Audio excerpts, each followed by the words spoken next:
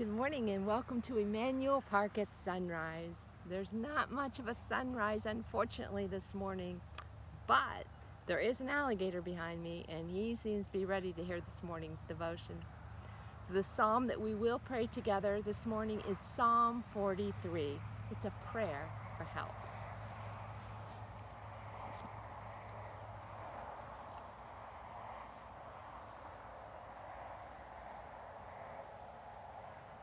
Vindicate me, O God, and defend my cause against an ungodly people, from those who are deceitful and unjust. Deliver me. For you are the God in whom I take refuge. Why have you cast me off? Why must I walk about mournfully?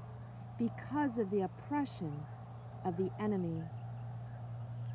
O oh, send out your light and your truth.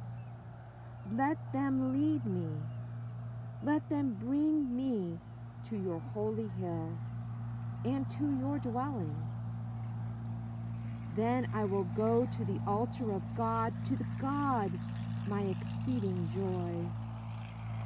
And I will praise you with the harp Oh God, my God, why are you cast down, O my soul, and why are you disquieted within me? Hope in God, for I shall again praise him, my help and my God. Amen.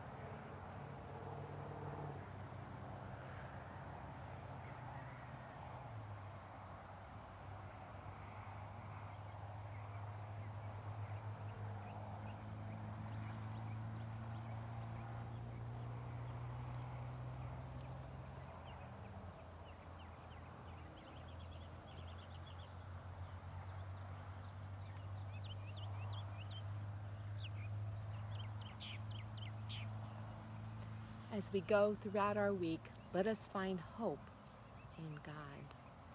Have a blessed week.